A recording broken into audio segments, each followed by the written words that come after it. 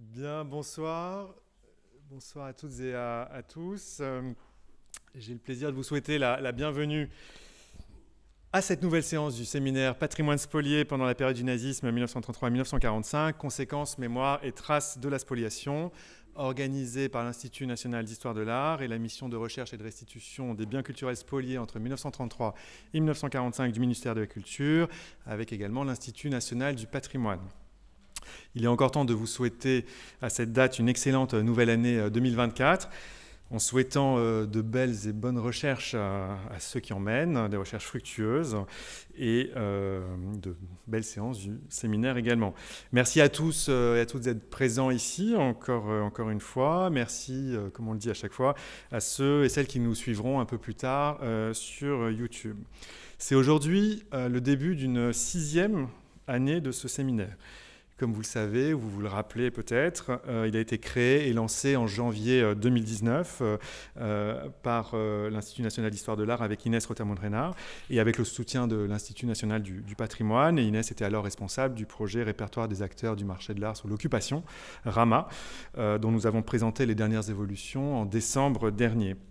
Et puis en 2020, pour la deuxième année, j'ai eu la chance de rejoindre ce projet euh, à l'invitation d'Inès pour programmer et animer euh, les séances euh, de ce séminaire. Et je remercie Inès et Eliane Achat pour cette invitation. Le séminaire s'est poursuivi avec un certain succès, enfin c'est pas à nous de le dire, mais quand même peut-être, je crois. Et nous vous remercions de venir et de revenir encore ici dans cet auditorium. Pour cette nouvelle saison, c'est un peu, euh, si on peut l'appeler comme ça, c'est un peu particulier. Euh, comme nous l'avions annoncé euh, il y a quelques mois, le séminaire se transforme un peu, pas, beaucoup, en tout cas dans son animation, puisqu'Inès a rejoint le musée d'Orsay comme chargé de provenance en septembre dernier et a pris du coup un peu de, de champ avec le séminaire. Mais je crois que ce n'est pas du désintérêt, puisque Inès Rotramoun Reynard est là ce soir. Et c'est d'ailleurs une séance ce soir avec Vincent Tuchet, qui est là, qui devait venir il y a quelques mois. Donc c'est aussi euh, euh, qu'il y avait eu un empêchement. Et donc c'est un peu la, poursuite d'un projet euh, un peu plus ancien d'il y a quelques mois. et donc voilà, c'est un peu différent, un, peu différent ce soir. Mais ce qui est important, ce sont les intervenants. et donc les choses continuent. Et merci en tout cas euh, à l'INHA et je salue euh, Juliette Tray euh, qui est ici, directrice adjointe de, la, recherche de, l'Institut. Je salue, remercie Inès, l'INP également pour la création, l'organisation, le soutien, la poursuite de ce rendez-vous qui est devenu, je crois, quand même assez important, qui a trouvé sa place dans le monde euh, réel et, numérique, euh, des chercheurs, des amateurs, des curieux, des juristes, euh, des professionnels du marché de l'art, et parmi également, j'espère, les familles, des ayants droit, des personnes spoliées, des victimes de, de spoliation.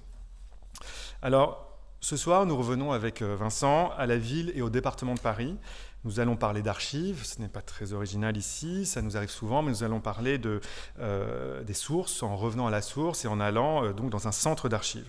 Les archives de Paris que beaucoup d'entre vous sans doute connaissent pour les fréquenter. C'est un lieu indispensable euh, pour la recherche, pour notre recherche sur le patrimoine culturel spolié et plus largement pour les recherches sur les spoliations de l'occupation pendant l'occupation en général.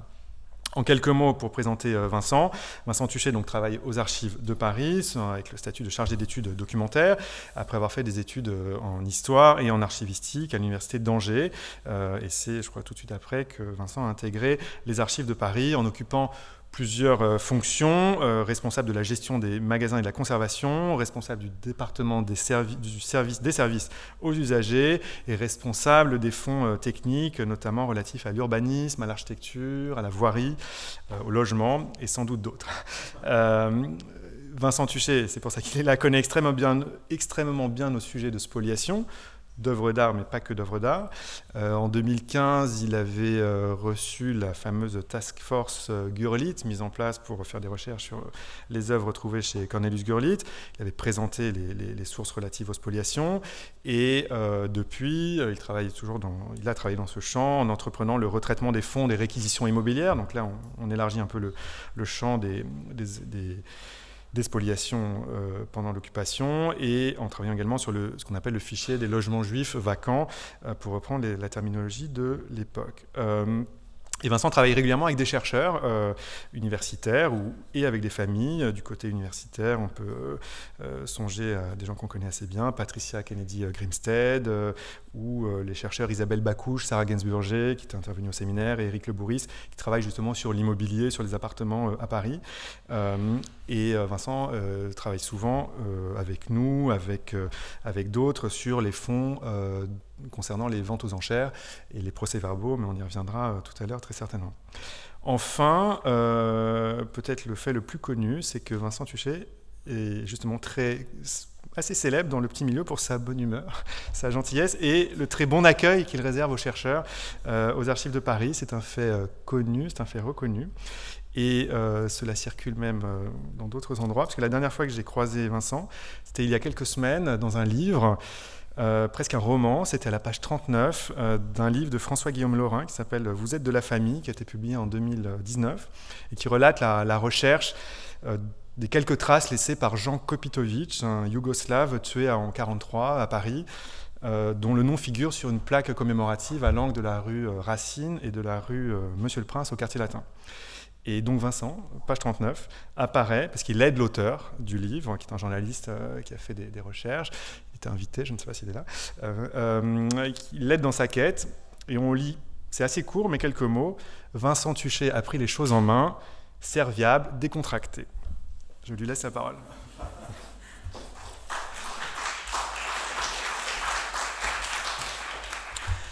Merci David. Je vais, je vais essayer de rester décontracté alors. Euh, Merci à l'INHA, à l'Institut national du patrimoine, au ministère de la Culture d'avoir invité les archives de Paris à présenter les sources qu'elles conservent relatives aux spoliations et restitutions des biens juifs de manière générale et des biens culturels en particulier. Les sources conservées aux archives de Paris viennent en complément de celles conservées aux archives nationales et au centre des archives diplomatiques de la Courneuve. Si certains fonds portent précisément sur les spoliations ou restitutions, d'autres vont davantage permettre de contextualiser ces dernières, d'en illustrer les mécanismes et d'identifier les acteurs institutionnels ou particuliers. Je me permets juste de vous faire une petite présentation des archives de Paris. Les archives de Paris sont un service d'archives atypique dans le paysage archivistique français. En effet, les archives de Paris sont à la fois un service d'archives municipal et un service d'archives départemental et surtout les héritières des archives de la Seine. Cette particularité a un impact sur les fonds, notamment sur le ressort géographique couvert par ceux-ci. À droite, vous avez la carte du département de la Seine avant 1968, Paris en son sein et toutes les communes rattachées au département de la Seine. À gauche, à gauche, la carte des nouveaux départements créés lors de la nouvelle région Île-de-France et l'éclatement du département de la Seine en quatre départements, le département de Paris, des Hauts-de-Seine, de Seine-Saint-Denis et du Val-de-Marne. Comme tout objet de recherche, les spoliations des biens juifs à Paris, conduites entre 1940 et 1944, et leur restitution, présentent à la fois des facilités, masse importante de, de documents, fonds souvent nominatifs, et des obstacles à surmonter, imbrication des actions administratives, dispersion de l'information, dossiers et fonds insuffisamment décrits. Le premier objectif de cette présentation et des inventaires des fonds qu'on a pu réaliser ces dernières années, c'est de permettre la recherche individuelle sur sur la personne recherchée, il est nécessaire de réunir le plus d'informations possible si l'on veut avoir une chance de faire aboutir sa recherche. Un nom ne suffit pas à mener à bien une étude. Dans la mesure du possible, il faut connaître le nom, le ou les prénoms, l'adresse, et c'est l'élément le plus fiable, et des dates. Il reste bien évidemment d'incontournables difficultés, comme la plus évidente concerne les noms de famille et leurs variantes orthographiques. Les fonds conservés par les archives de Paris permettent plus facilement une recherche de la restitution vers la spoliation. Pour une recherche portant sur une spoliation et en déroulant le fil de l'histoire vers son éventuelle restitution, le chercheur devra débuter plutôt par les fonds des archives nationales en priorité. Les fonds des archives de Paris ne permettent pas de recherche par objet ou bien. Cette présentation n'est pas un état exhaustif des archives. Il s'agit ici de présenter les sources relatives aux spoliations de biens culturels, même si les sources vont surtout documenter les spoliations dans leur ensemble, du bien immobilier au bien simple d'usage quotidien. Les deux premières parties s'attacheront à présenter d'une part les différentes formes de spoliation et d'autre part les différentes formes de restitution, en précisant respectivement les principaux acteurs et les sources utiles aux archives de Paris. La troisième partie, je vous présenterai deux cas pratiques de recherche en essayant de euh, vous présenter une éventuelle méthode de recherche dans les fonds des archives de Paris. Les sources relatives aux spoliations. Donc, première forme de spoliation, la spoliation économique. La spoliation des entreprises juives, dont les galeries d'art, est encadrée par un ensemble de textes officiels allemands et français visant à exclure les juifs de l'économie française et en créant notamment le commissariat général aux questions juives. Les archives du commissariat sont conservées aux archives nationales sur le site de Pierre Fitte sous la sous-série AJ38. Il est possible de compléter la recherche sur une spoliation économique aux archives de Paris dans le fond du tribunal de commerce. Les grèves des tribunaux tiennent les registres du commerce de 1920 à 1954 et tenaient jusqu'à la réforme de 1962 les registres des métiers pour les artisans. Donc, on a trois ensembles, les registres du, commerce, euh, avec une clé d'accès, un fichier, ce fichier a trois entrées, soit un fichier par nom de personne, donc nom de la personne qui a créé la société ou qui l'a gérée, un fichier par nom d'enseigne, et c'est par ce fichier-là qu'on pourra rechercher l'inscription des galeries d'art dans les registres du commerce, et un fichier par nom de société. L'idée, c'est que ce fichier vous associe un nom d'entreprise avec son numéro d'inscription et la date d'enregistrement, ce qui vous permet ensuite de consulter le bon registre. C'est la même chose pour les registres des métiers, pour les artisans, un fichier d'accès qui vous associe un nom et un numéro d'inscription et vous permet de commander le bon registre. On peut poursuivre ensuite la recherche dans les dossiers de liquidation judiciaire. On complétera ces fonds par les archives liées aux restitutions, notamment, les ordonnances de restitution des biens commerciaux, et par les fonds des commissaires-priseurs qui, comme on le verra après, ont été particulièrement actifs dans l'arianisation économique. Je vous présente ici un exemple euh, d'une inscription au registre du commerce euh, de l'établissement euh, Vali, donc, qui n'a rien à voir avec une, galerie d'art. Comme vous pouvez le voir, les informations sur le registre du commerce sont réparties sur une double page. La page de gauche, c'est plutôt une forme d'état civil de la société. Et sur la page de droite, on va avoir tous les événements de l'histoire de cette société. Lors de la création, de la modification ou de la radiation d'un commerce, une inscription doit être portée sur les registres par le greffe du tribunal. Les registres signalent toutes les modifications subies par un commerce en cours d'arianisation. On y trouve la nomination de l'administrateur provisoire, c'est le petit zoom que je vous ai fait en bas à droite, où dans le troisième chapitre, on voit la désignation de M. Binot comme administrateur provisoire de cette société. On peut trouver la radiation du commerce du registre en cas de liquidation et le nom des acheteurs en cas de vente. Deuxième forme de spoliation, la spoliation des appartements et de leur mobilier. Alors, on s'éloigne toujours un peu du bien culturel, mais vous allez voir que les, connexions se font notamment pour des biens euh, de second ordre. Euh, au printemps 1942, un service allemand, la Dienststellwesten, service ouest, souvent désigné comme office de récupération des biens juifs, est créé à Paris pour mettre en œuvre ce qui sera désigné comme l'opération Meuble ou Meuble Action, définie en décembre 1941 selon les termes suivants. Disposer de l'entièreté des meubles et meubles meublants appartenant aux Juifs qui ont pris la fuite ou qui partiront encore dans les territoires occupés de l'Ouest, afin de pallier la pénurie de meubles à l'Est et en Allemagne. La radicalité de cette opération est à souligner. Les logements juifs, ceux des beaux quartiers comme des quartiers populaires, sont entièrement vidés. Ces meubles sont très vite destinés à une catégorie spécifique de personnes, les sinistrés allemands des bombardements alliés.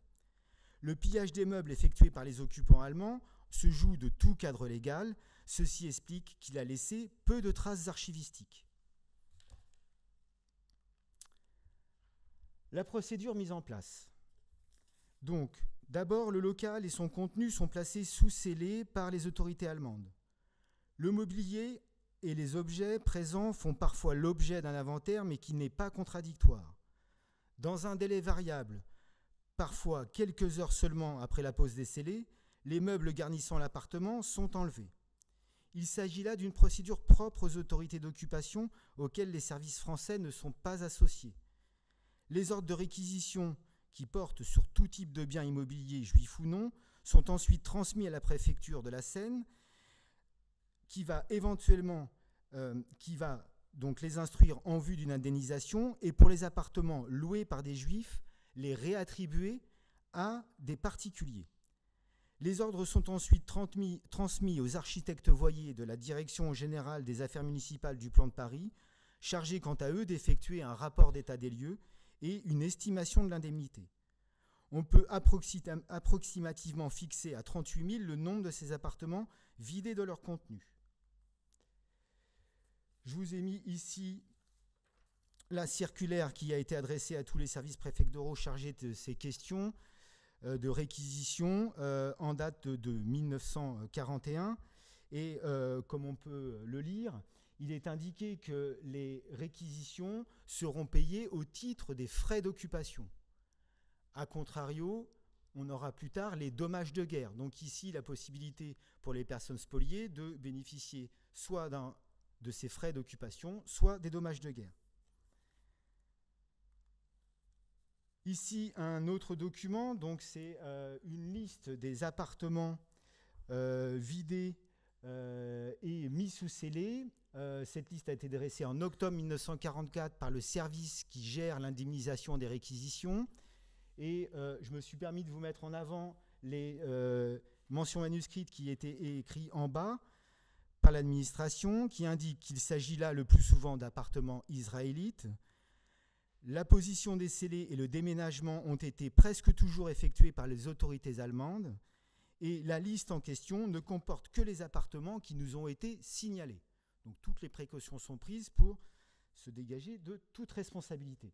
Vous voyez que les listes sont présentées par arrondissement, ensuite par nom de voie et par l'adresse, la localisation de l'appartement dans l'immeuble et ensuite le nom du locataire juif qui est associé. Pour documenter et sourcer la spoliation des appartements et de leur contenu, le fonds des dossiers d'indemnisation des réquisitions immobilières faites au profit des autorités d'occupation pour Paris et le département de la Seine est indispensable. Ce fonds coté 143W se compose de 1000 se compose de 1001 articles, 1011 articles pardon, et contient environ 15 000 dossiers individuels. Ce fonds volumineux fait l'objet d'un inventaire sous la forme d'une base de données décrivant par commune ou pour Paris par arrondissement les dossiers un par un en indiquant les informations suivantes. Le type de bien réquisitionné, l'adresse du bien, le nom et le prénom du prestataire, c'est-à-dire le nom de la personne dont le bien a été réquisitionné, et le statut de ce prestataire, propriétaire, locataire, service administratif. Si le contenu des dossiers n'est pas homogène, notamment parce que ces dossiers avaient pour finalité le paiement d'une indemnisation, donc il reste avant tout des dossiers comptables, on retrouve souvent des informations essentielles sur le pillage des biens juifs, liste des biens spoliés, rapport d'état des lieux et sur son processus, notamment par la présence de témoignages. Je vous ai fait ici un extrait de la base de données faisant inventaire. Donc vous voyez les différents champs qu'on a pu euh, décrire dossier par dossier. Euh, on peut ici euh, s'intéresser au dossier de réquisition de l'appartement de Marc Bloch situé 17 rue de Sèvres. Dans le dossier de Marc Bloch, on retrouve l'ordre de réquisition allemand adressé à l'administration préfectorale pour la mise en œuvre de l'indemnisation de la réquisition. Autre document qu'on peut retrouver dans un dossier d'indemnisation de, réquisition. Ici, je vous ai mis euh, la liste dressée, euh, l'inventaire dressé euh, des biens mobiliers garnissant l'appartement réquisitionné de Madame Veuve Strauss, situé 55 bis boulevard Pereire. Donc vous pouvez voir que cet inventaire est fait pièce à pièce en listant les meubles et objets qui les garnissaient.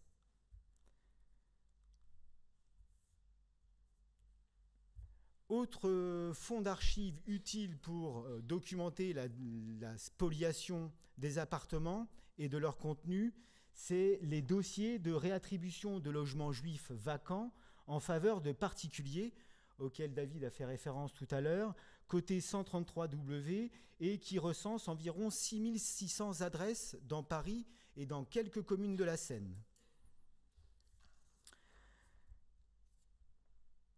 Conçus comme un fichier par l'administration, ces fiches, associées parfois à d'autres documents, correspondance, ordre de réquisition, état des lieux des architectes voyés, constituent aujourd'hui des mini-dossiers classés par ordre alphabétique des rues de Paris et de quelques communes de la Seine, Neuilly-sur-Seine principalement, et pour une même rue par numéro d'immeuble. Ce fonds ne porte que sur les appartements occupés par des locataires juifs. On y retrouve au minimum les informations suivantes le nom et le prénom du locataire juif parti, la date de la vacance, c'est-à-dire souvent celle de la mise sous scellé par les Allemands. une fois l'appartement abandonné du fait de l'arrestation ou de la fuite de ses occupants, le service ouest pose les scellés sur l'appartement avant de vider l'intégralité des biens qui s'y trouvent. Une fois l'appartement vidé, il est transmis à la préfecture de la Seine pour les appartements occupés par des locataires juifs afin que celle-ci organise la réaffectation des, baux et engagements de location dont les familles juives sont titulaires à des locataires non juifs normalement sinistrés. Donc ici, je vous en renvoie effectivement sur les travaux euh, d'Isabelle Bacouche, Sarah Jensburger et Éric Le Bourris. Un exemple de ce mini-dossier issu de ce fichier euh, des appartements euh, juifs vacants, donc ici, il s'agit de l'appartement situé euh, rue du Faubourg Saint-Martin et qui était loué par M. Reich. Et on peut voir les différentes pièces qu'on peut y trouver. Euh, c'est une information assez sommaire. Et euh, juste pour vous indiquer que là, on peut voir que l'appartement a été, a été réattribué non pas à un sinistré comme c'était initialement prévu, mais à une personne pistonnée, entre guillemets, par les autorités d'occupation euh, qui d'ailleurs envoie un document à la préfecture pour soutenir euh, cette affectation à ce monsieur. Troisième type de spoliation, troisième forme, la spoliation des biens culturels. La destinée de ces biens est particulièrement complexe à définir en raison de leur provenance, de leur nature et de leur qualité. Deux sources principales à consulter sur cette thématique aux archives de Paris, le pillage des appartements par le service ouest, donc on, revient sur les dossiers de réquisition et sur les dossiers de dommages de guerre, et le fonds des ventes aux enchères, le fonds des commissaires-priseurs judiciaires parisiens. Je vous signale également les séquestres de Vichy de collections d'art réalisés dans le cadre de la loi du 23 juillet 1940, qui permet de prononcer la déchéance des Français ayant quitté la France entre mai et juin 40. La déchéance de la nationalité française s'accompagne de la confiscation des biens de l'intéressé, qui seront alors placés sous séquestre. Trois fonds qui portent sur ces questions donc de séquestre de Vichy, un versement du parquet général de la Cour d'appel de la Seine et deux versements de la direction des domaines de la Seine. Je vous ai mis ici quelques exemples issus du dossier de séquestre de la collection de M. Édouard de Rothschild, euh, et notamment des documents issus du dossier sur la correspondance reçue envoyée par le procureur général près de la cour d'appel de la Seine, où on peut euh, constater l'impuissance de l'administration française face aux Allemands.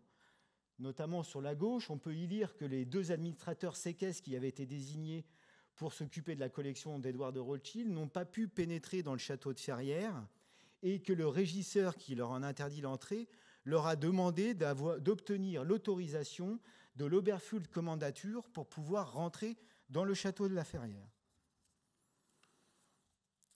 Autre document issu de ces mêmes correspondances, un, euh, un, courrier écrit par le procureur général au ministère de la Justice indiquant que l'administrateur séquestre a été informé qu'un officier allemand, le docteur Zeichel, s'est présenté dans la matinée au château et avait emporté notamment trois tableaux et de nombreuses faïences italiennes. D'autres tableaux appartenant à la collection de M. Edouard de Rothschild auraient été enlevés depuis par camionnette. Et de rajouter Je veux supposer qu'il s'agit non de véritables enlèvements, mais de simples déplacements. Le fonds des commissaires-priseurs judiciaires parisiens et de la Chambre des commissaires-priseurs est incontournable pour la recherche de la spoliation des biens culturels en permettant de définir la provenance, la destination et la nature des œuvres spoliées. Ce fonds se répartit en trois sous-ensembles, mais c'est bien celui des minutes des procès-verbaux de vente publique qui en est la principale source. Premier sous-ensemble, les archives de la Chambre des commissaires-priseurs, qui euh, portent sur le fonctionnement et l'activité. Dans cette, par cette partie comprend plusieurs séries de documents, dont une série de registres consignant les déclarations de vente. Ces registres listent par année et par commissaire-priseur les ventes intitulées et dates et leurs résultats. Ces registres témoignent de la participation active des commissaires-priseurs à la liquidation des biens juifs, notamment dans le cadre de l'arianisation, mais aussi de la dispersion des spoliations. Deuxième sous-ensemble, la collection de catalogues de vente publique conservés aux archives de Paris. Alors, cette collection est particulièrement lacunaire, notamment pour toutes les ventes d'œuvres d'art. Il ne s'agit pas de catalogues annotés. Par contre, ça reste un fonds utile à consulter avant de rechercher dans les procès-verbaux de vente, notamment pour connaître la date de la vente et le nom du commissaire-priseur l'ayant administré. Pour le coup, j'aurais tendance à vous renvoyer vers la collection conservée par la bibliothèque de l'INHA qui a été numérisée et qui est bien plus complète que celle des archives de Paris. Un exemple d'un état des ventes pour l'année 1943, celui de Maître Michaud. Et comme vous pouvez le voir, j'ai euh, pris que le mois de janvier de l'année 43. Et au cours du mois de janvier 43, Maître Michaud, à part deux ventes, n'a fait que des ventes dites de biens israélites. En fait, il s'agit de liquider des biens juifs économiques dans le cadre de l'arianisation à la demande de l'administrateur provisoire.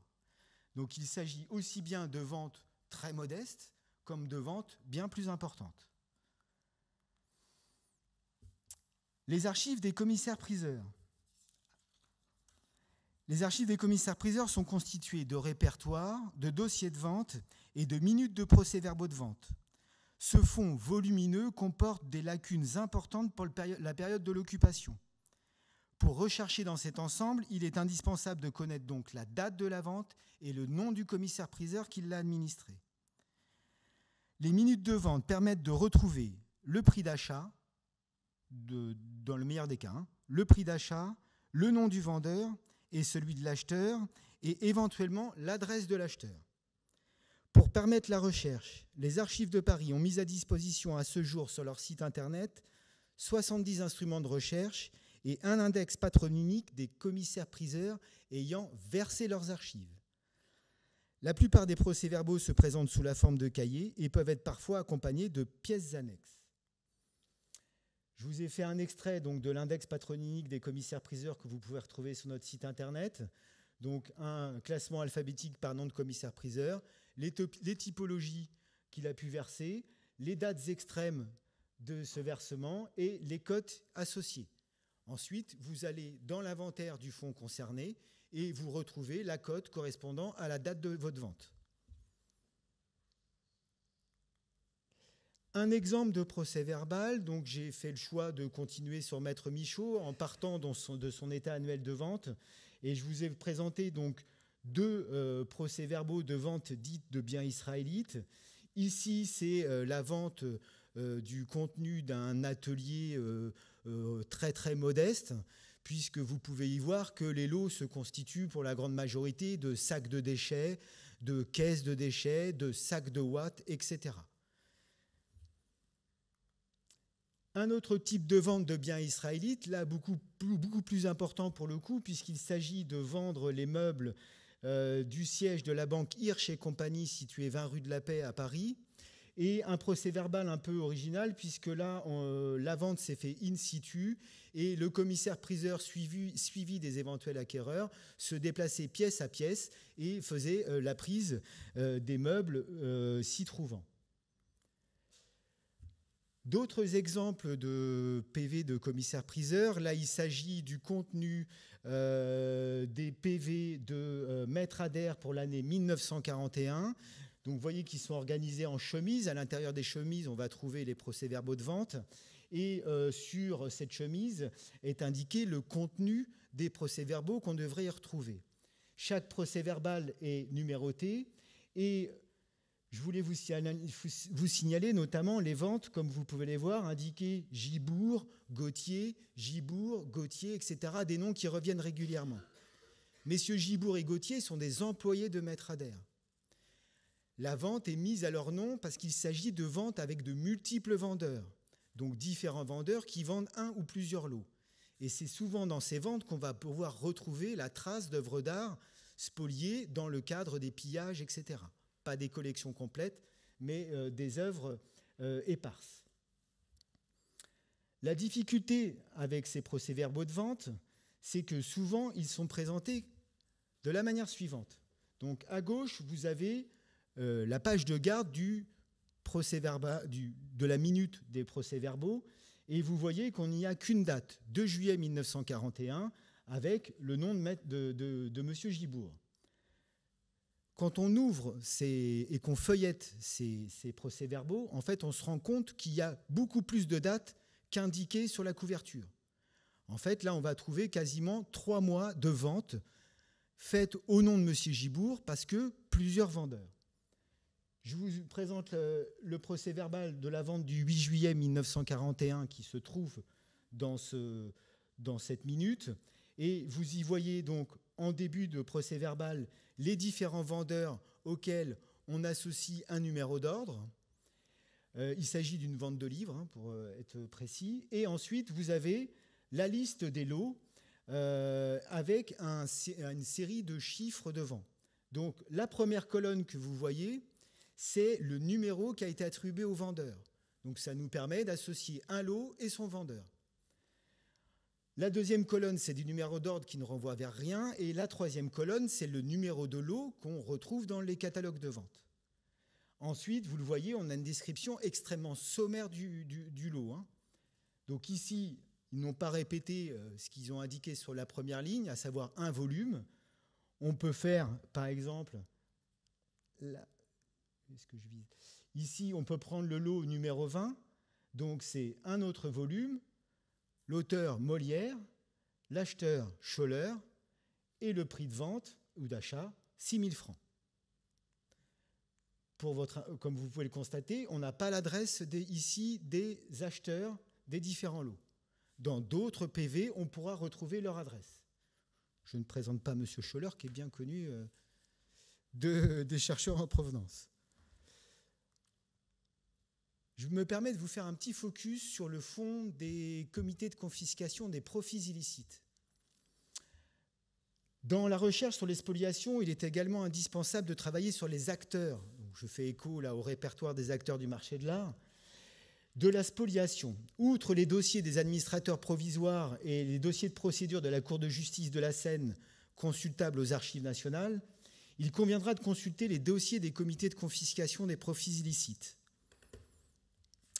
Les comités de confiscation ont été instaurés par l'ordonnance du 18 octobre 1944 afin de saisir les profits illicites entre le 1er septembre 1939 et le 8 mai 1945. Dans chaque département se met en place un à plusieurs comités de confiscation placés sous l'autorité du ministère des Finances et composés de représentants des services fiscaux et du comité départemental de libération. Pour la Seine, 12, départements ont été, 12 euh, comités ont été créés. Les comités de confiscation déterminent les profits à confisquer et leur montant, peuvent procéder à des enquêtes et vérifications et provoquer la mise sous séquestre. Les entreprises contrôlées sont choisis sur des motifs variés. Signalement par l'administration, chiffre d'affaires élevé, secteur économique dominant ou dénonciation. Trois types de profits sont soumis à confiscation. Les opérations réalisées avec les puissances ennemies, celles opérées en violation des diverses réglementations, donc tout ce qui est lié au marché noir, et enfin les opérations dites lucratives. Deux types d'opérations lucratives sont retenues. Euh, introperçu d'allocations en matière contingentée et un enrichissement des acteurs des spoliations antisémites, administrateurs provisoires ou acquéreurs de biens qui n'auraient pas pu être récupérés dans le cadre des procédures de restitution. Donc le fonds se compose d'un peu plus de 2000 articles pour environ 19 000 dossiers individuels de citation. Le fonds est organisé par comité et par numéro de dossier. Aujourd'hui, il est accessible via un formulaire de recherche sur poste informatique en salle de lecture des archives de Paris uniquement.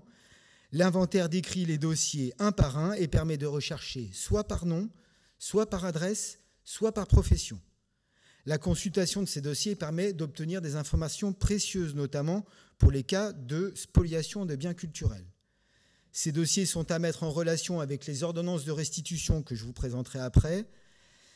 Ces fonds pourront être complétés avec les dossiers de séquestre de profits illicites du parquet général de la Cour d'appel de la Seine. Un extrait de la base de données faisant inventaire. Ici, on va s'intéresser au cas du dossier de citation de M. Jean-François Lefranc, marchand de tableaux et administrateur de biens juifs la page de garde de son dossier de citation. Donc juste vous faire des petites remarques sur les mentions manuscrites indiquées en bas. On y voit que M. Lefranc a fait recours de la décision du comité de confiscation, que ce recours se fait auprès du Conseil supérieur des profits illicites, dont les archives sont conservées par le service des archives économiques et financières du ministère des Finances. Et pour la petite histoire, l'administration a même rajouté culot parce qu'elle devait penser que Jean-François Lefranc avait du culot de faire recours contre la décision du comité de confiscation. Donc Jean-François Lefranc, condamné par la Cour de justice à l'emprisonnement, etc. Et Jean-François Lefranc, il est particulièrement connu pour avoir été le liquidateur et administrateur provisoire de la collection Schloss, mais dans son dossier de, profits illicites, on peut également y lire qu'il a été nommé administrateur de la collection du docteur Veil en août 1943 et qu'il a été chargé de la liquidation de la collection de M. Satori à Nice. Ces dossiers donnent des informations de contexte sur l'activité de, euh, des personnes qui ont euh, euh, profité de la spoliation des biens juifs, administrateurs provisoires ou acquéreurs. Les sources relatives aux restitutions. Les archives de restitution sont innombrables et éclatées en autant de séries que d'organismes chargés de l'indemnisation des victimes et de la restitution de leurs biens. Les principales administrations intervenues dans les procédures de restitution sont le ministère des Finances, le ministère des Affaires étrangères, et pour ce qui concerne les archives de Paris, le ministère de la Justice avec l'action des tribunaux de grande instance et de commerce, et le ministère de la, Reconstruction et de l'Urbanisme avec les centres départementaux de règlement des dommages de guerre.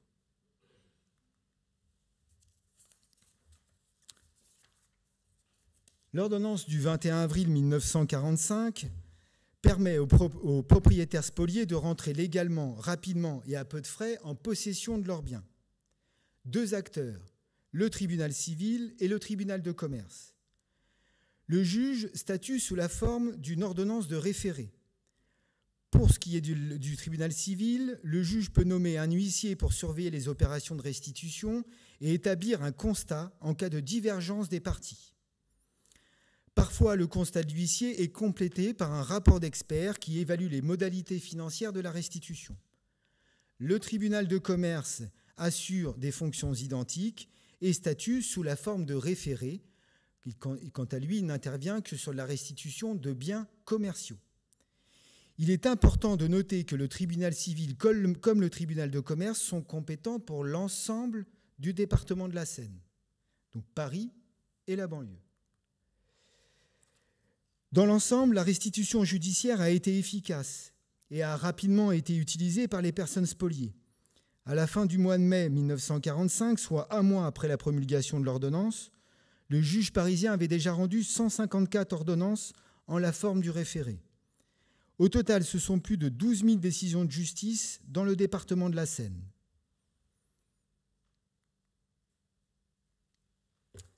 Aux archives de Paris, les ordonnances de restitution de biens spoliés ont été séparées et forment un fonds à part dissocié des autres jugements. Ces ordonnances numérisées sont accessibles sur poste, sur informatique en salle de lecture des archives de Paris uniquement. On y trouve les ordonnances de restitution du tribunal civil, donc deux versements et couvrent la période 1945-1976 et les ordonnances de restitution des biens commerciaux pour la période 1945-1947. Il est important de noter que les ordonnances, en tout cas pour celles du tribunal civil, sont accompagnées d'autres pièces, convocation, correspondance, etc., composant ainsi un petit dossier de procédure. Ces pièces complémentaires n'ont pas été numérisées, mais peuvent être consultées au format original en salle de lecture en les commandant avec la cote attribuée à l'ordonnance que vous aurez consultée sur poste informatique. Les constats d'huissier et les rapports d'experts peuvent être également consultés en salle de lecture au format original. Pour votre bonne information, les constats d'huissier et les rapports d'experts sont soumis à un délai de communication de 75 ans, car ils sont considérés comme pièces de procédure, et contrairement aux ordonnances qui sont librement communicables, pour ceux de moins de 75 ans, il faudra faire soit une demande de dérogation, soit attendre que le délai de 75 ans soit échu. Ici, un extrait de la base de données euh, qui sert d'inventaire aux ordonnances de restitution. Euh, j'ai fait le choix de choisir type de bien, œuvre d'art. Une fois qu'on a les résultats, il est important de noter le numéro attribué à l'ordonnance. Comme vous pouvez le voir au début, toutes les personnes qui ont, été listées une par une sont dans une seule et même affaire, l'ordonnance 3003. On a le demandeur, M. Bauer, contre une série de défendeurs, de gens a priori qui ont bénéficié de la spoliation. Et on retrouve notre ami M. Lefranc. Un exemple d'ordonnance de restitution de biens spoliés il s'agit ici de la demande faite par M. Stettiner de la restitution de trois tableaux qui lui ont été spoliés, dont un Modigliani. Alors, au-delà du tableau et de toute l'histoire qu'il y a autour de ce tableau que vous connaissez sûrement, euh, l'intérêt de ces ordonnances, c'est qu'on va y trouver des noms. Donc là, on peut voir que M. Stettiner attaque M. Philippon, commissaire gérant, on trouve l'adresse de M. Stettiner, 18 avenue de Matignon. Si on va dans les dossiers de réquisition, qu'on cherche cette adresse, on trouve un dossier au nom de M. Stettiner. Donc il a fait également une demande d'indemnisation de, suite à la réquisition. On trouve également le nom de l'acheteur, Van der Klipp, donc un nom bien connu aussi euh, du marché de l'art et euh, des œuvres d'art spoliées et ça nous donne ensuite du contexte sur la spoliation. On peut compléter les ordonnances de restitution des biens spoliés avec le inversement du parquet général de la Cour d'appel de la Seine et trois versements du greffe civil du tribunal de grande instance de la Seine. Je me permets de vous indiquer aussi euh, des fonds privés dits justice il s'agit des fonds des avoués. Euh, excusez-moi. Alors, les avoués, le fonds des avoués permet de retrouver des dossiers de procédure civile portant sur des actions en restitution. Les dossiers de procédure auprès du tribunal civil, ils ne sont pas conservés. Donc c'est le seul moyen d'avoir un peu euh, de contenu sur la procédure pour la demande de restitution. L'avoué est un officier ministériel chargé de rédiger les actes de procédure civile. Il officie devant les tribunaux civils et les cours d'appel. Normalement, il n'a pas vocation à plaider, sauf lorsqu'il n'y a pas assez d'avocats. On est en période d'épuration professionnelle, donc on peut imaginer que les avoués plaidaient aussi dans le cadre de ces affaires-là. On peut signaler notamment le fonds euh, des avoués Leveillé, Niserolles et Mermet, ou euh, euh, celui de... eh ben le nom m'échappe. D'autres fonds. Voilà, en fonds privés. Les indemnisations des dommages de guerre, donc c'est une autre forme de restitution, mais là, la forme de restitution, c'est l'indemnisation. Donc ça fait écho au dossier d'indemnisation des réquisitions. À la Libération, le gouvernement provisoire crée le ministère de la Reconstruction et de l'Urbanisme qui sera chargé de l'application de la loi du 28 octobre 1946 qui fixe le cadre général de l'indemnisation des dommages de guerre. Les demandes d'indemnisation émises par des personnes juives ne constituent qu'une très petite minorité de ces requêtes. Cependant, les dossiers de dommages de guerre liés aux spoliations-réquisitions sont riches d'informations. La loi dommages de guerre s'applique aux immeubles d'habitation, à leurs dépendances et aux biens meubles d'usage courant ou familial. Elle s'applique également aux biens meubles et immeubles affectés à un usage professionnel, économique, culturel, social ou à un service public. Le fonds se compose de dossiers individuels d'indemnisation, environ 7000 dossiers individuels. L'ensemble de ces versements a fait l'objet d'un répertoire méthodique commun accessible sur le site internet des Archives de Paris. Il est accompagné de deux répertoires index par ordre alphabétique des noms de sinistrés et par adresse des sinistres. On signalera, que les dossiers cotés 1131W et constituant cet ensemble concernent les personnes spoliées du département de la Seine et bénéficiaires de la loi Brugge. Ce versement contient 244 articles. Je vous présente ici la demande d'indemnisation au titre des dommages de guerre faite par Madame Schwab, demeurant 15 rue Rénoir dans le 16e arrondissement. Vous voyez que la cote du dossier, c'est 1131W, donc c'est un dossier ayant bénéficié de la loi Brugge. Et euh, donc le formulaire est rempli. Madame Schwab indique que son appartement a été occupé pendant quatre ans par les Allemands, euh, qu'a priori, ils n'ont rien pillé, euh, en tout cas pour les meubles, mais que les meubles sont maintenant dans un piteux état. Madame Schwab va notamment dresser la liste des biens qui lui ont été spoliés en tenant compte de la nomenclature fixée par les dommages de guerre. Et donc, elle liste en premier lieu, de manière assez précise hein, pour Madame Schwab, le nombre euh, de, euh, de verres, la vaisselle, l'argenterie, etc., etc. Et elle continue sa liste pour finir par une, liste, euh, par une paire de patins à roulettes, une paire de skis, trois dessins de Renoir, un tableau du XVIIIe siècle, etc.. Donc ces listes ont un intérêt, aussi bien dans les dommages de guerre que dans les, dans les dossiers d'indemnisation, c'est qu'on y trouve des objets culturels spoliés, après décrits de manière succincte, mais ça permet d'avoir des pistes. Je voudrais vous présenter deux cas pratiques de recherche. Alors, la première recherche, c'est sur la spoliation d'un appartement atelier d'artistes dans le cadre de euh, l'action meuble. Donc, je vous ai euh, relisté tous les fonds qui seraient susceptibles euh, d'interroger pour voir si on a des dossiers qui nous intéressent. Et j'ai fait le choix donc de vous présenter le pillage de l'appartement atelier d'artiste de Madame Renée Unique, situé 157 rue du Faubourg Saint-Honoré, Paris 8e. On commence par le dossier sur... donc Madame Renée Unique était locataire de son appartement. Donc on va voir dans le fichier des appartements euh, juifs vacants réattribués. On trouve un mini-dossier au nom de Madame Unique. Dans ce mini-dossier, on va y trouver le rapport d'état des lieux de l'architecte Voyer, qui nous explique que quand il arrive, après la pose des scellés sur l'appartement, il rentre dans un appartement et un atelier d'artiste complètement vide de son mobilier et de ses objets. Donc il fait un état des lieux comme on fait un état des lieux quand on prend une location d'un appartement vide. Ensuite, dans ce même dossier euh, de, réattribution du logement de Madame, euh, Madame Unique, on trouve de la correspondance donc euh, de l'administration qui va proposer l'appartement à différentes personnes. Et quand Madame Unique revient à Paris après la libération et qu'elle ne peut pas réintégrer son appartement parce que quelqu'un s'y trouve, elle fait appel à son réseau pour la soutenir dans sa demande de réintégration.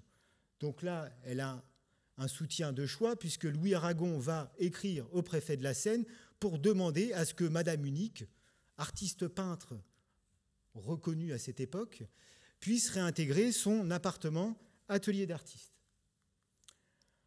Ensuite, on va aller chercher, voir si Madame Unique a fait une demande d'indemnisation suite à la réquisition de son appartement et si elle a fait une demande de dommage de guerre.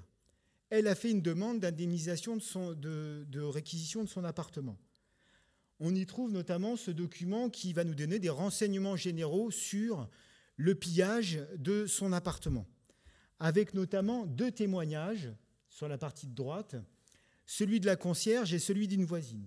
La concierge. Il est exact que Madame Unique a été complètement pillée par les Allemands le 28 janvier 1944. Elle a quitté son logement en 1942, emportant une malle qui contenait, je crois, quelques toiles et un peu de linge. Vient ensuite le témoignage de Madame Bunot Marguerite, établie relieuse dans le même immeuble, et qui déclare à son tour À la fin de l'année 43, les scellés ont été apposés sur la porte du logement de Madame Unique. Au début de janvier, les Allemands sont venus une première fois choisir leur butin. Donc là, on peut imaginer qu'ils choisissent d'abord ce qu'il y a de plus intéressant. Et ils sont venus ensuite, une deuxième fois, le 28 janvier 1944, où ils ont complètement pillé l'atelier et le logement de Madame Unique. Ils jetèrent une partie du mobilier par la fenêtre. J'ai dû intervenir parce qu'ils auraient pu casser mes vitres. Donc là, ça vous marque bien l'action meuble comme c'est vraiment une, opération assez, euh, euh, systématique et, euh, et, parfois un peu violente. Oh. Dans le dossier de dommages de guerre de Madame René Unique, qui porte la cote 1131W, donc dossier qui a bénéficié de la loi Brugge. Madame Unique donc, va demander l'indemnisation notamment pour la perte de ses biens professionnels toile, pinceau, huile, etc. Elle va tout de même établir un inventaire du mobilier par l'intermédiaire de M. Fils-Jean, expert en art, et elle va lister donc les biens qui se trouvaient dans son appartement et qui lui ont été spoliés. On voit notamment qu'elle indique qu'elle avait une grande peinture intitulée Clochard qu'elle ne retrouve plus. Si vous cherchez aujourd'hui sur Google, vous tapez René Unique Clochard, vous retrouvez son tableau à vendre sur ArtPrice. Une autre forme de euh, cas pratique, donc une recherche sur la spoliation d'une œuvre d'art. Donc les différentes sources qu'il faudrait exploiter pour faire cette recherche aux archives de Paris. J'ai fait le choix ici de vous présenter la spoliation du tableau Les Citrons de Braque appartenant à M. Paul Rosenberg.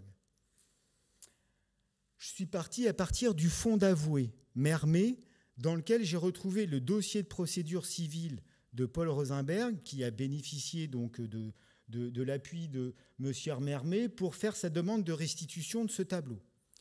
Dans ce dossier de procédure, on retrouve la copie de l'ordonnance de restitution. Dans cette copie, on va pouvoir, et dans l'ordonnance, on va pouvoir à nouveau s'intéresser aux différents acteurs et aux différentes dates qu'on nous présente. Donc, il est expliqué que ce tableau a été acquis par une demoiselle Van der Kliep. Tout à l'heure, on avait monsieur, la demoiselle, une histoire de famille. Et euh, par l'intermédiaire de Manteau, et que ce tableau a été acquis dans le cadre d'une vente aux enchères administrée par Maître Bélier. Donc ça, c'est l'ordonnance de restitution. On retrouve les mêmes informations. On y trouve donc la date de la vente de Maître Bélier et euh, les noms de Van der Kliep, Manteau, etc. L'ordonnance indique aussi également le nom du vendeur, un certain monsieur Panzarosa. Donc maintenant qu'on a ces informations-là, allons voir si le procès-verbal de vente a été versé aux archives de Paris.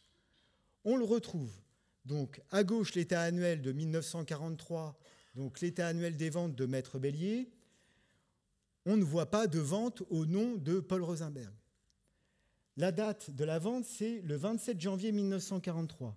Vous voyez tout en haut de la liste annuel, on voit une série de dates où on trouve la date du 27 janvier. Il est indiqué que c'est une vente dite volontaire et que les propriétaires sont diverses. Donc on est bien dans le cadre de ces ventes à multiples vendeurs où on va avoir un vendeur pour un ou plusieurs lots. Le procès verbal de la vente a bien été versé aux archives de Paris. On y voit ici donc la liste des différents vendeurs et on retrouve notre monsieur Panzarosa ici au numéro 19 avec son adresse. On se plonge dans le procès verbal et malheureusement, si on ne connaissait pas monsieur Panzarosa grâce à l'ordonnance de restitution, le PV ici n'associe pas le numéro, le numéro du vendeur avec le lot. Vous voyez, les numéros attribués à chaque vendeur n'ont pas été reportés dans le corps du procès verbal. Donc, après, on va rechercher le lot qui nous intéresse, à savoir le tableau de braque. Si je me trompe pas, c'est le lot 32. Il est là. Donc, ici, c'est les numéros de lot hein, qui font référence au catalogue de vente. Qu'est-ce qu'on a comme information extrêmement sommaire? Braque, je ne vais pas y arriver, braque, manteau et 66 000 francs. C'est comme ça que je le repère. Braque, toile, manteau, 66 000 francs. C'est tout ce que vous avez comme information. Pour, continuer les recherches, on pourrait aller dans les dossiers de comité de confiscation de profits illicites pour voir si on retrouve M. Manteau ou les Vanderclip. M. Manteau, on ne le retrouve pas. Les Vanderclip, il y a un dossier de confiscation de profits illicites les concernant. Et puis après, là, pour le coup, la recherche s'arrête là. Et il faudra ensuite continuer dans les fonds du Centre des archives diplomatiques de la Courneuve ou des archives nationales. Merci beaucoup.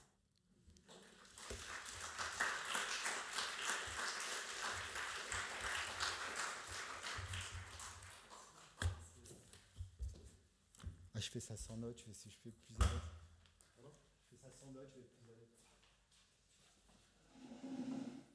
Merci, euh, merci beaucoup euh, Vincent euh, pour cette présentation et puis les, cas, un peu les cas pratiques, euh, en nous tenant un peu la main euh, sur comment faire, par où commencer. Je crois que c'est évidemment utile. Ça, reste évidemment toujours un peu euh, théorique quand on regarde ça sur, sur, sur l'écran.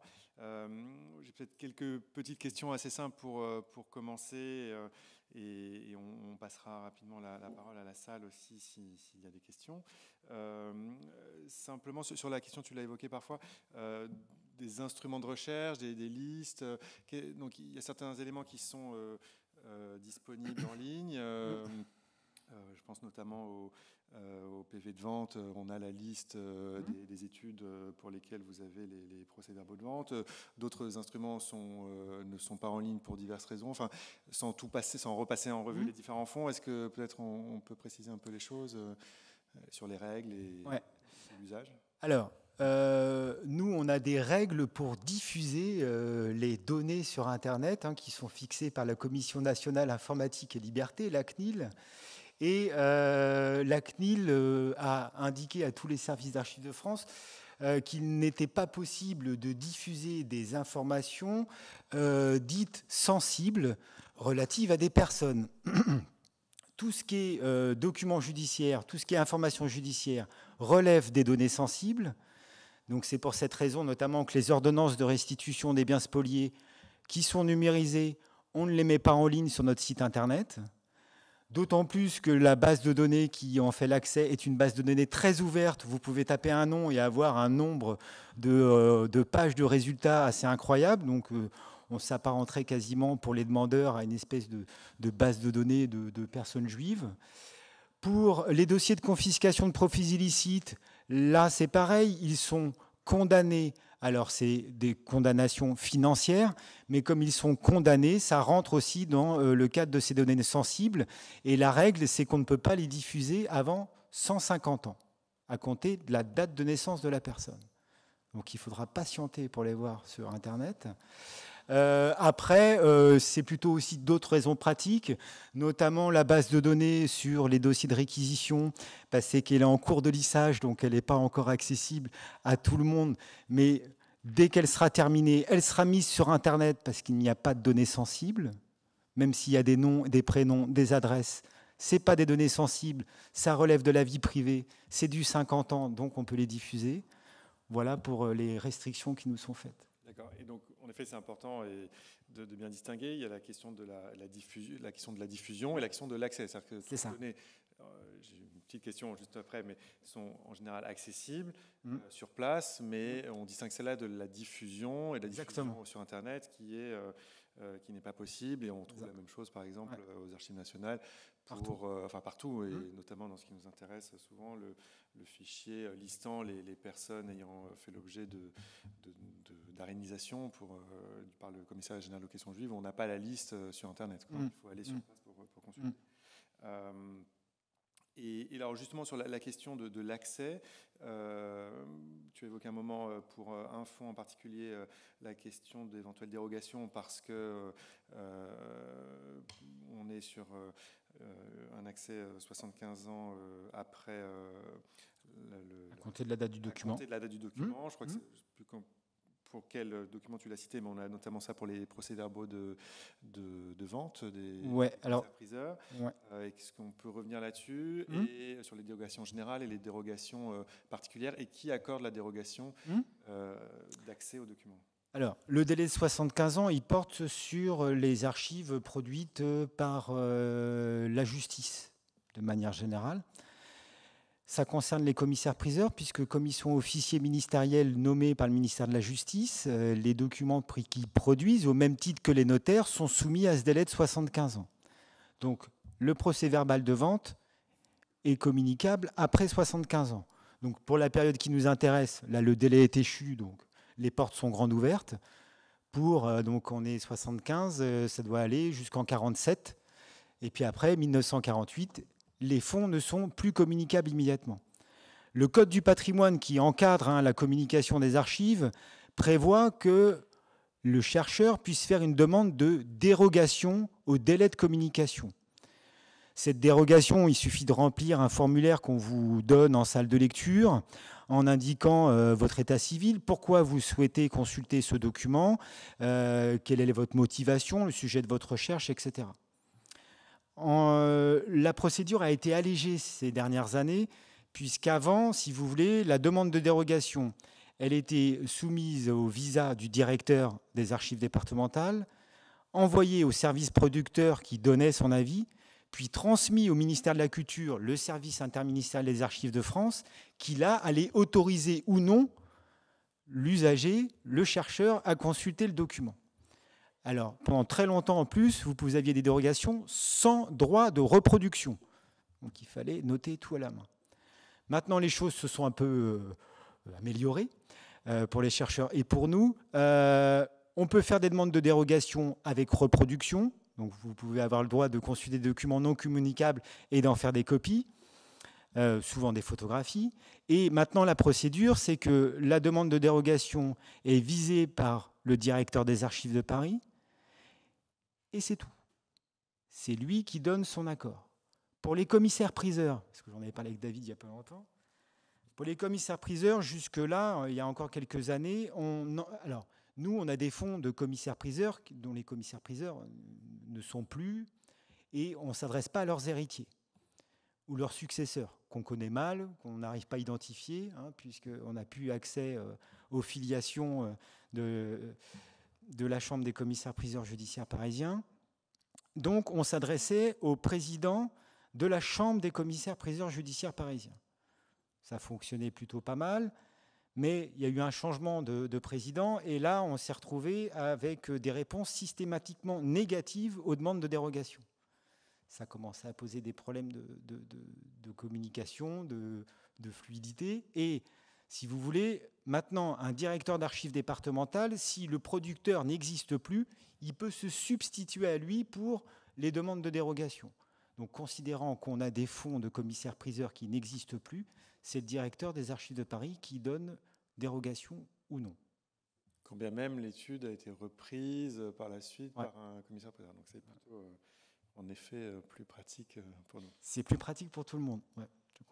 Et, en passant euh, sur les commissaires sur les procès-verbaux, qui sont donc des archives publiques que les commissaires priseurs doivent euh, déposer, euh, quand est-ce qu'ils doivent déposer et ont-ils tous déposé? Je connais un peu la réponse, mais beaucoup de gens connaissent la réponse. Mais qu'est-ce, et qu'est-ce Alors, non, ils sont loin d'avoir tous déposé.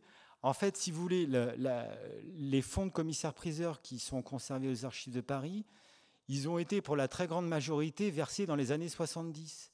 À l'époque, le directeur des archives de Paris euh, avait euh, fait un partenariat avec la Chambre des commissaires-priseurs et ils ont décidé d'inciter tous les commissaires-priseurs à verser leurs archives de plus de 50 ans. Ça a été bien suivi, donc c'est comme ça que le fonds s'est constitué. Maintenant, c'est un peu au cas par cas, au coup par coup, euh, quand les commissaires-priseurs nous contactent.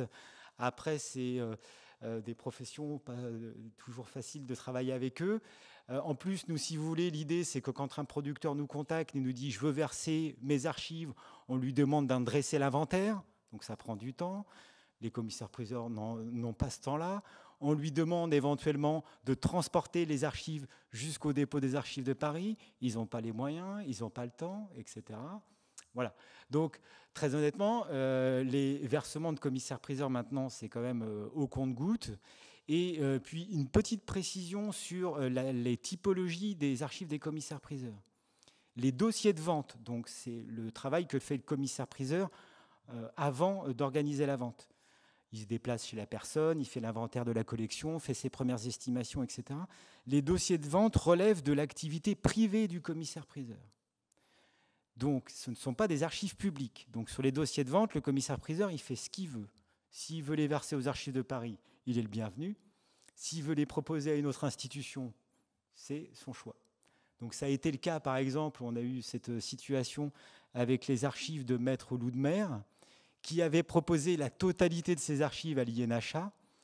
Et nos collègues de l'INHA avaient eu la bonne idée de lui dire que non, les procès-verbaux, ce n'était pas à l'INHA, mais aux archives de Paris, et que le dossier des ventes, par contre, pouvait être versé à l'INHA.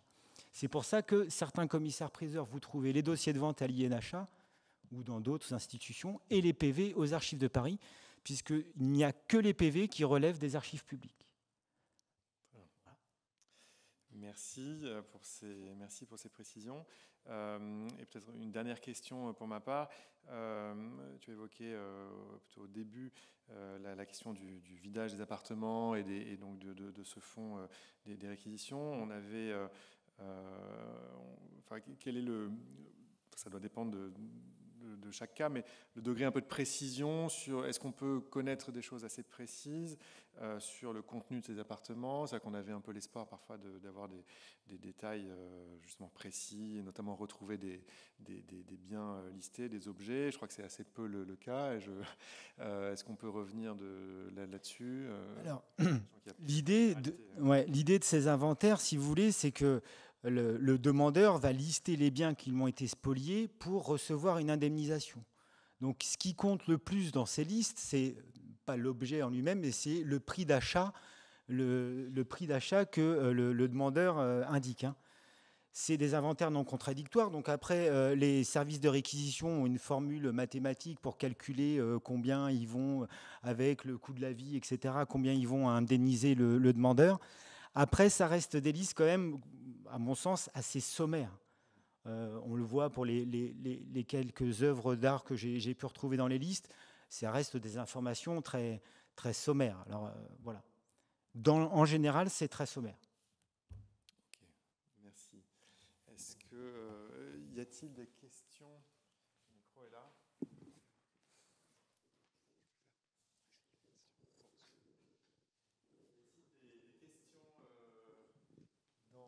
Euh,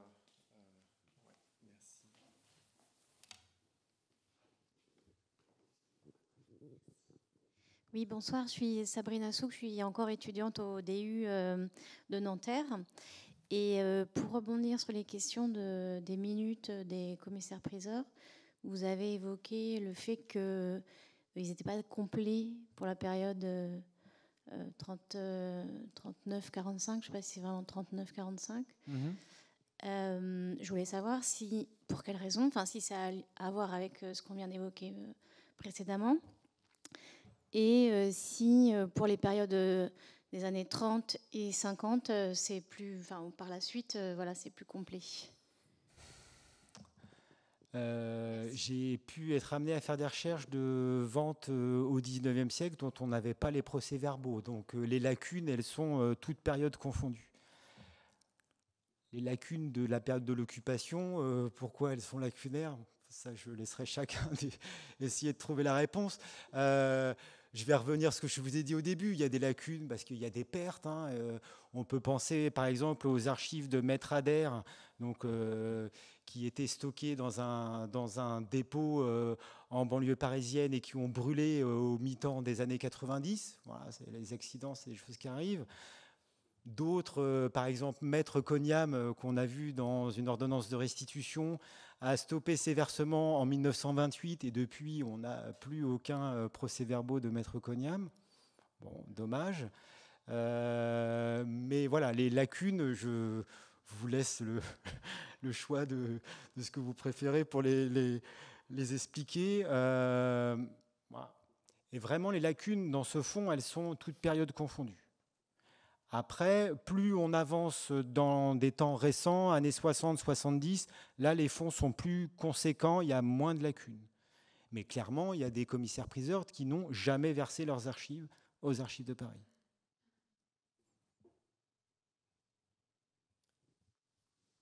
Y a-t-il euh, d'autres d'autres questions euh, d'usagers habituels, de, de lecteurs de, des archives de Paris, de futurs euh, usagers. De, Oui, merci. Euh, Daniel Dratois, euh, vous avez parlé tout à l'heure de la loi Bruck, mais la loi Bruck va donner une... la personne qui remplit le formulaire, c'est 20 ans après les faits. Alors en fait, les, dossiers de dommages de guerre, ils ont été conservés et transmis euh, aux administrations allemandes justement pour euh, euh, évaluer l'indemnisation dans le cadre de la loi Brugge. Donc en fait, c'est a priori ces deux administrations qui ont mis en lien leurs données. Quoi. Voilà. Et, et, les dossiers sont quand même 244 articles, hein, c'est-à-dire 244 cartons, c'est quand même un, assez, euh, enfin une partie assez conséquente des dommages de guerre.